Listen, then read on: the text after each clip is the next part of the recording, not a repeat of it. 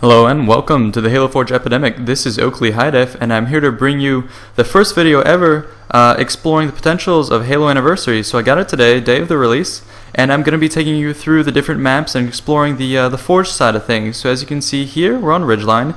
I've deleted all the objects, and then I've placed a few just to demonstrate what's going on. Uh, so one thing to note, you guys, uh, in order to play the maps, if you bought Anniversary from your Reach uh, game, you have to use the anniversary map pack code that you're given. So right now, using the anniversary disc, I can't play the other Reach maps. I can't play on Forge World, and so it's you're limited to seven maps. If you want, if you want to play all the maps together, you have to go ahead and redeem your code, and you're given a code in the the disc for this anniversary. So that's just a note. All right, now back to the map itself. Uh, here you can see is Ridgeline. Obviously, I'm sure you guys have seen overviews and stuff like that given you from Bungie.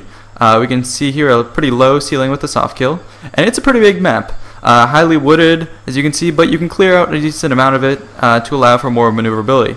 Uh, right now I'll be focusing on the Forge palette. So I've taken a look at everything. Uh, it's pretty similar to what we have on Forge World. Of course, some objects are reduced, and I'll be going through that. But there are a lot of nice, actually really nice new additions that I can see uh, just pushing the limits of what we can do in Forge World to a new level, which will be on Timberland. Uh, so first of all, here I've put down all the scenery pieces. So we have all our sandbags, uh, still the same pieces as normal. And then what we have over here is actually all the barricade pieces. Now, they look the same, but the two new additions are these Jersey Shore barricades here, Jersey barrier there, and the, the short one. And the nice, nice thing about these is that you can uh, do damage to them, and see chunks will flake off and stuff like that. And so what this is going to be used for is probably um, for some dynamic destruction, maybe in different types of games, but I think most predominantly it's going to be used in infection where the infected have to break through walls, etc. So what you're going to be seeing is on this map tons and tons and tons of infection maps because the possibilities are much greater than in Forge World.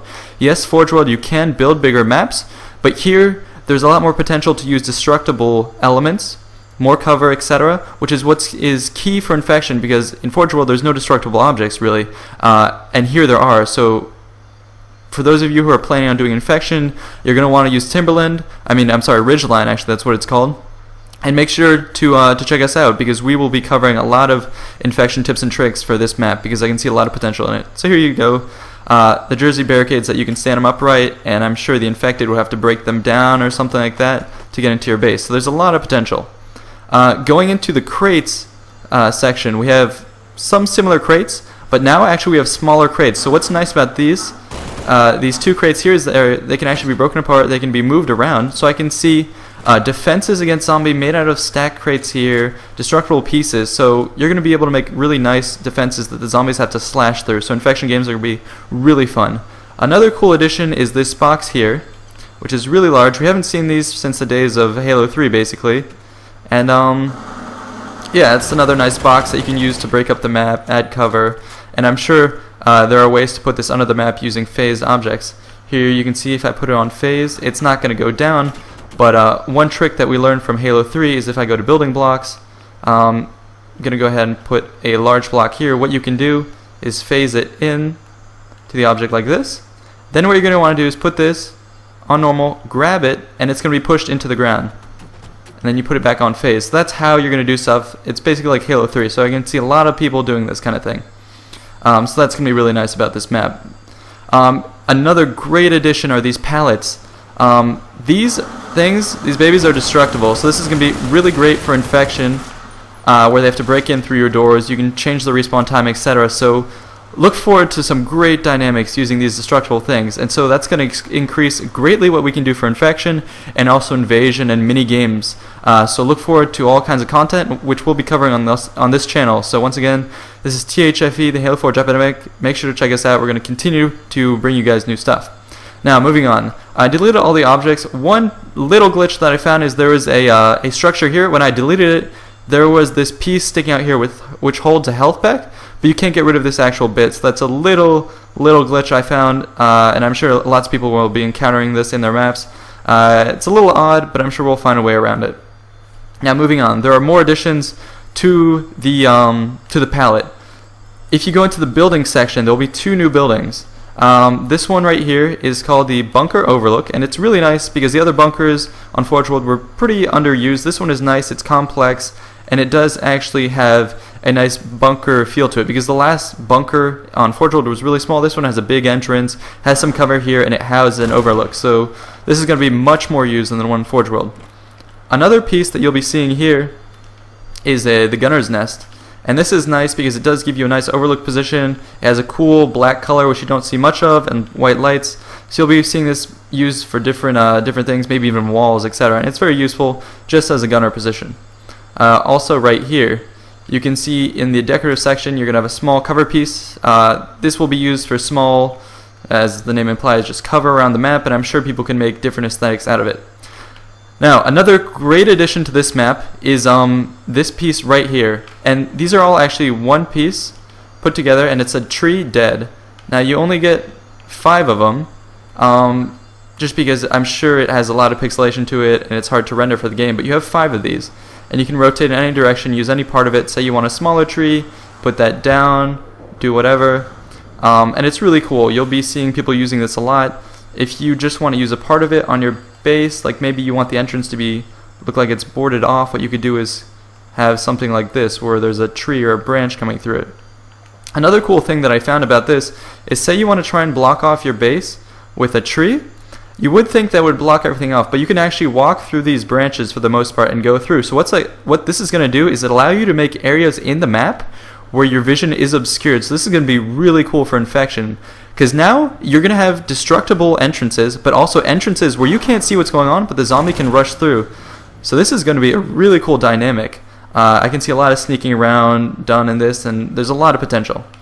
Alright, so back to the different pieces we have here.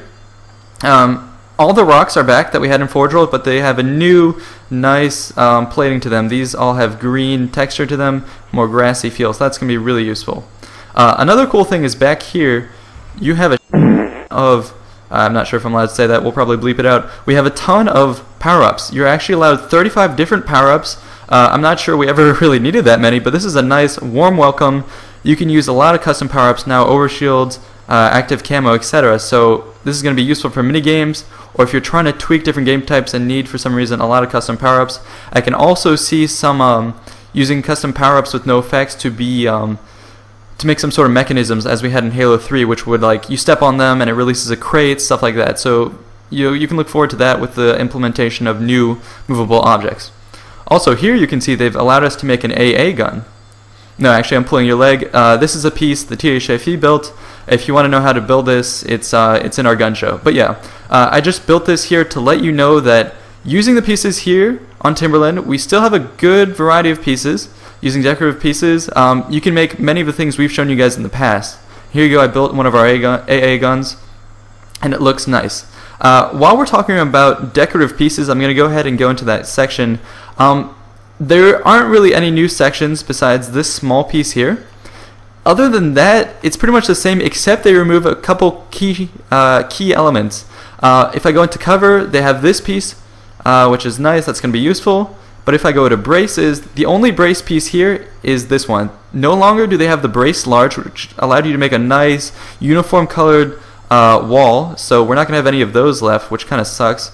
And then also, if you go into walls, we do have 50 of them, but there's no wall coliseum. So what you are going to see in this map is sort of a lack of walls, and that's going to be a little annoying for anyone who wants to build big, tall structures, but I guess that's not really what this map is going for. So if you're going to be building those big tall structures, what I would recommend doing is uh, using these different wall pieces. Um, we're going to be seeing a lot of these, but what I think we will be doing is using a lot of inclines because we have a hundred of these, and so what I think will become the new brace large is using these just as a wall like that, line those up, and make buildings out of that. So um, uh, that's just what I foresee. This map has a lot of great potential. It's got nice bases. This one is overgrown. Put the tree in here, but it can easily be blocked off for infection using the pallets. Different ways up. The lifts there can be blocked off. You can make some sort of uh, lift here. All different areas of this map can be explore explored and used, and it. I'm really excited uh, to see what people are going to be able to make out of this. Are different nooks and crannies you can have for infection, build little crate fortresses, different buildings, shacks, etc. Even places up here could be great for a holdout for infection infection spawn, little caves here, uh, what you could also do is um, say you have this um, this waterway. What you can actually do is go ahead and set down a whole line of these things, and there you go. You have an underground cave section to your map. So you can make really great uh, infection settings in this, and I'm excited to see what we're going to make out of it. Also, infection, uh, or sorry, invasion. You could have secret passages coming through the water, going to attack a base here. So there's a lot of potential to this map. And um, we're just beginning to scratch the surface. So this is our first video. I will be bringing more and more and more to you guys. So make sure to uh, check in on us and subscribe as we bring you more and more features. So this has been Oakley HiDef with the Halo Forge Epidemic, and I am signing out, guys. Thank you so much.